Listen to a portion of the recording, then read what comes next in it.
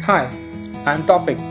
Today I'm going to show you how to build a business website in under 45 minutes. The type of website we are going to build today is a business website. The site will be based on a popular software program called WordPress, which is currently running millions of websites around the world.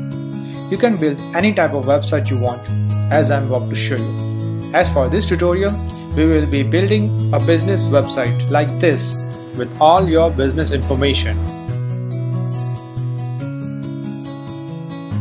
Keep in mind, I have done this dozen of times before, but you don't worry if you need more help. You can contact me anytime from the description below. If this is your first time building a website, it might take you longer than 45 minutes to get your site running. But with this step-by-step tutorial, I'm sure you'll be able to get it done pretty quickly. Let's get back to the video. Step 1 is to register your domain name.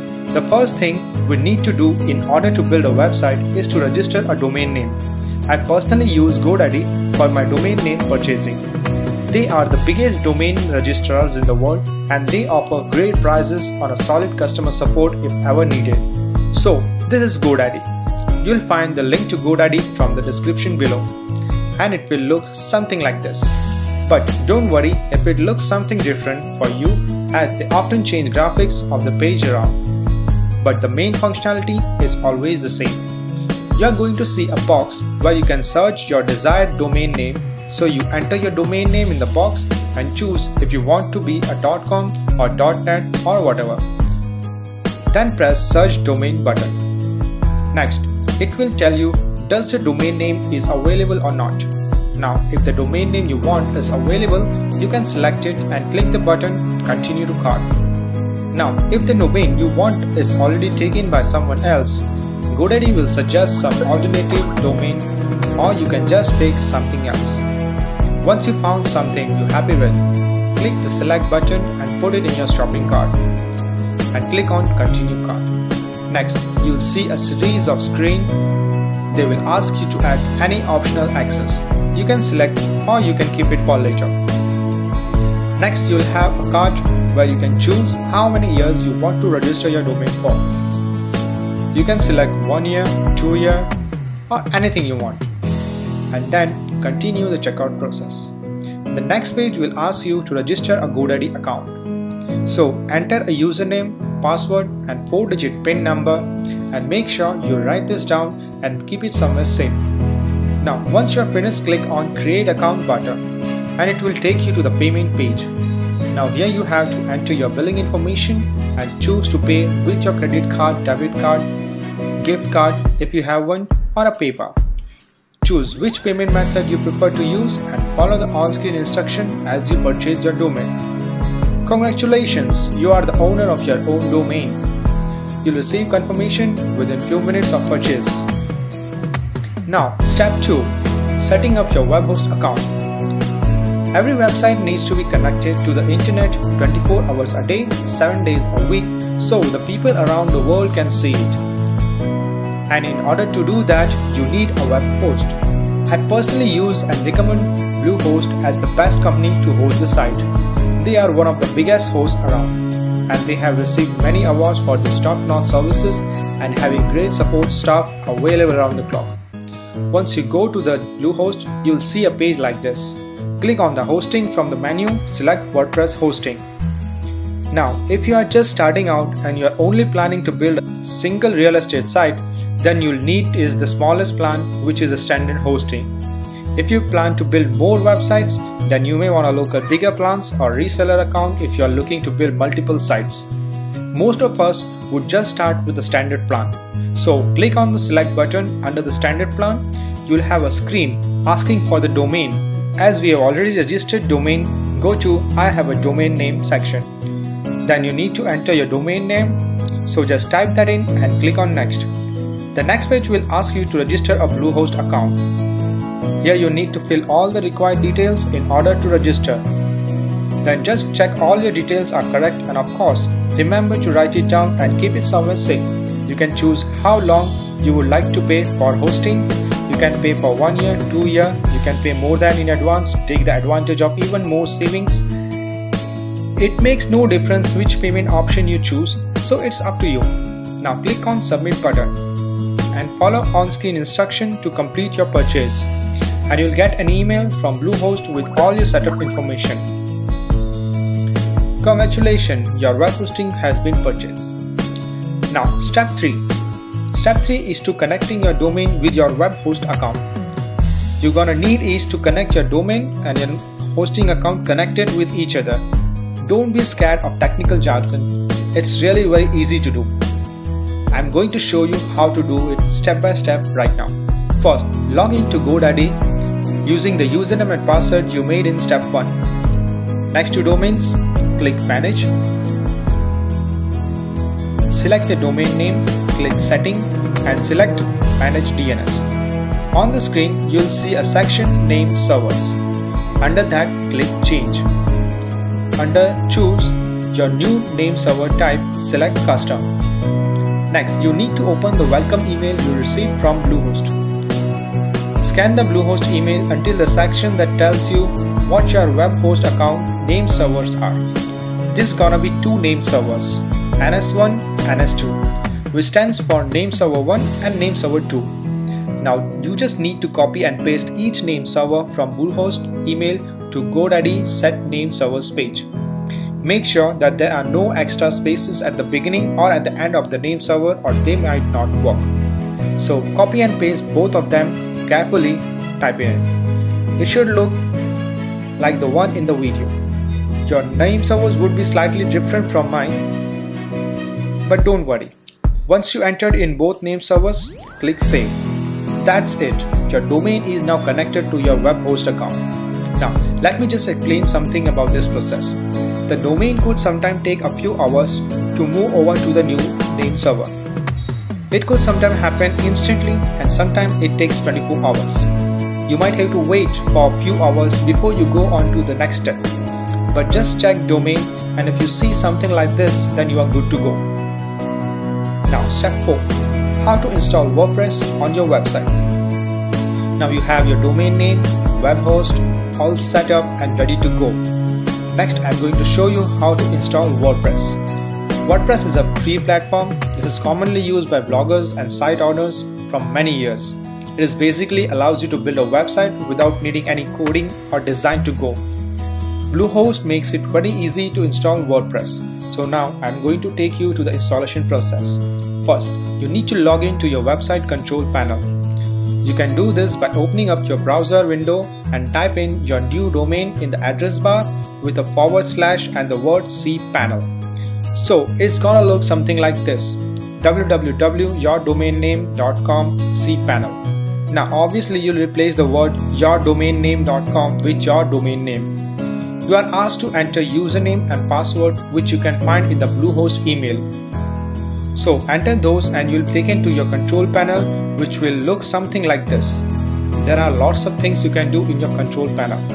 You can set up email account, check your site visitor statistics, upload files and a range of other things. But for this tutorial, we just focus on setting up WordPress. So scroll down until you see software section and select Softaculous Apps Installer. Click on WordPress image and then click the install now button. Now you just need to fill in the few details for your site, choose the domain to install it to. In the next field, in the field next to domain, you can enter a subfolder such as blog or leave it blank if you want the site's main page to be the blog. If necessary, you can edit the email address, username and password for the new WordPress installation. They can be anything you like, but remember again, write them down and keep it somewhere safe. Then click on the install button. You then see a confirmation page, so just read and finish installation and that's it, you are done. You can now visit your domain and you'll see a standard WordPress installed on it. Congratulations, you now have a basic website running. See, it really wasn't that hard, is it?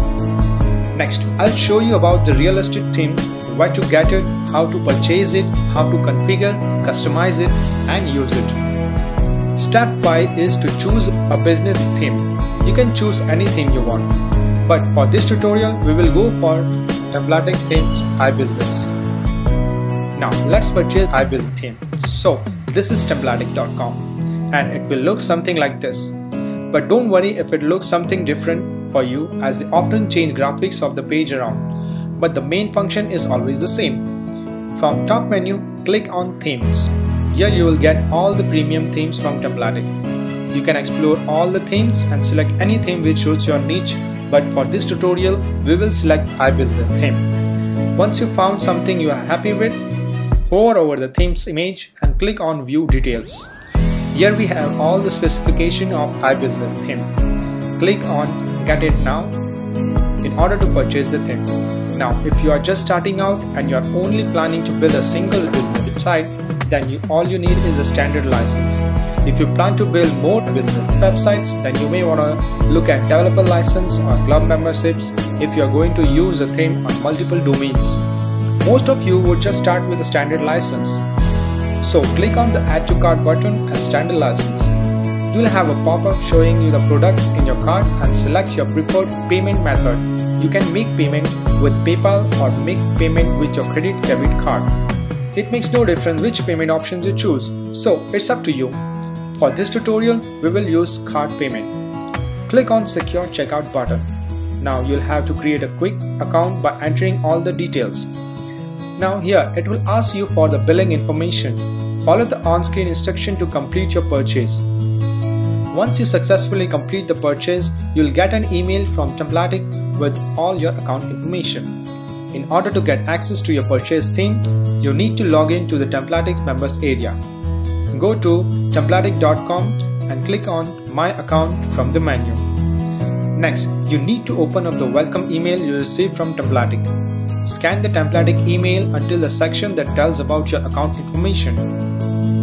Log in using the username and password as the email from Templatic. Once you log in, here's the dashboard. Click on My Downloads tab. Now go to My Theme section and click on Download button next to the theme. Now under the theme section, click on Download button in order to download the theme. Step 6 theme installation and configuring your business website. So now you have your domain name, web host and the theme all set up and ready to go. Next, I'm going to show you how to install the theme and configure your business website. To log into your admin side of the website, you'll need to add forward slash WP admin to the end of your domain name. And see, this is the login page for you to enter username and password that you created while installing WordPress. Now once you logged in, you'll see a dashboard. This is where you can manage your website from. It is good to familiarize with this interface as you are going to use this a lot when managing your website. On the left hand side, you can see a lot of submenus. For now, we just focus on setting up iBusiness theme.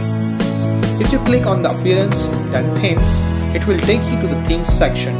From here, you can add new themes and see all your existing themes. To add iBusiness theme you have purchased, click on Add New button at the top left. Now click on Upload Theme button. Choose the zip file of the theme we have downloaded earlier and click on Install Now button. Once you click on Install Now button, the zip will begin to upload and the installation will take place. Once it is done, click Active button, activate the theme. Now a pop-up will appear and it will ask you for the license key. You can enter license key in the pop-up or you can enter the key here as well. Next, we need to open up the theme download section to get the license key. Go to templatic.com, click on my account,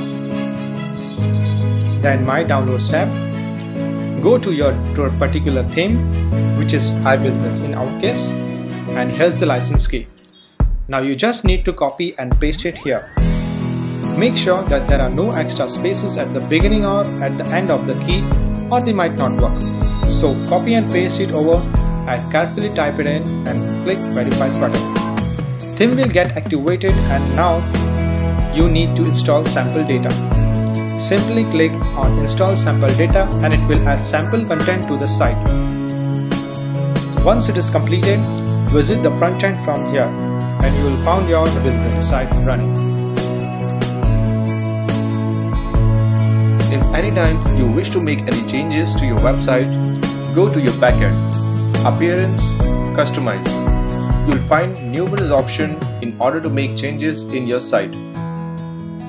You can change your logo of your site, You can change your site's identity. You can change color of your site, background settings, and many other tweaks.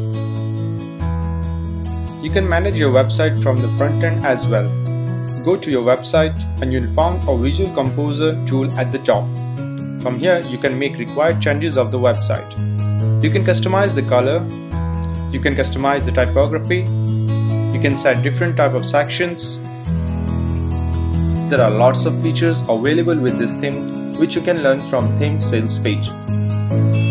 Everything in WordPress is self-explanatory and it has been designed to be easily used. You'll find tons of documents about everything you want to do with this site. I encourage you to play around and get very familiar with how everything works. So that's about it for this tutorial. I hope you will be able to follow this video and get your website up and running. That's all for now. Thanks for watching. If you have any question, please contact from the link below and I'll do my best to answer.